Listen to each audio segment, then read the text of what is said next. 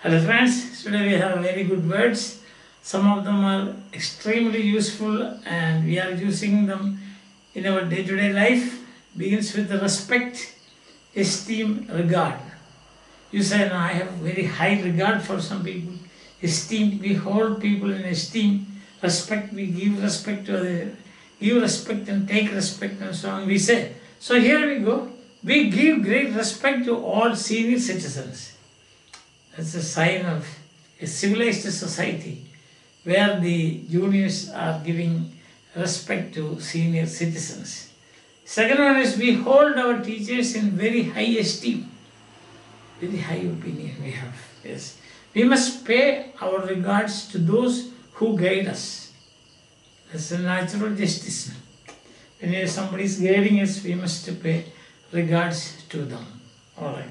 Now the second set is restraint, restriction, curb. All the three words mean the same.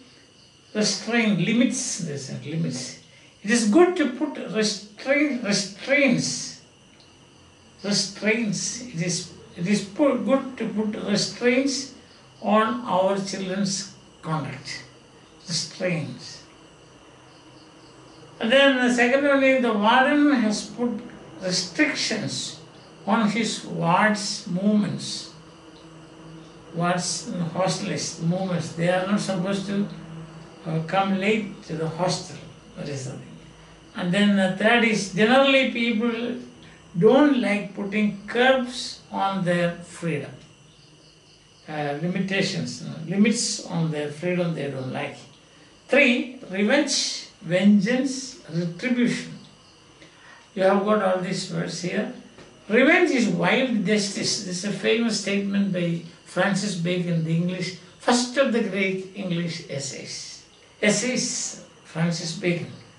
Revenge is wild justice. And second is vengeance destroys both him that takes it and its victim. If vengeance destroys him who takes vengeance and also the person who suffers it. And the some say retribution by nemesis is only natural. Nemesis, the Greek goddess of revenge. Retribution, punishment, revenge, so to say. Why? And fourth one is reverence and veneration. We approach sacred objects with reverence. Sacred objects with great reverence. Saints attract our veneration because of their holiness. They attract our veneration. We feel like uh, worshipping or venerating, isn't it? Yes. And number five and the last for today, rude, impolite, discourteous. Never be rude to anyone. It's bad manners. Can be stranger, can be friend, familiar or unfamiliar, anyone, but you should not be rude. Rude people are impolite in their dealings with others. Some people are born rude, so they are impolite with people. Only very few students are discourteous towards their masters. There are very few, maybe uh, one or two in a class of 50 or 100. You will find discourteous towards their, means not showing any respect, not obeying them, see, not following their words or not minding their guidance and so on. That is discourteous. So there are very few students. 99.99999 percent students are, are they won't be openly discourteous. Some of them are very discreet in that way. they, they will they will be discourteous, but they will not show it to their masters.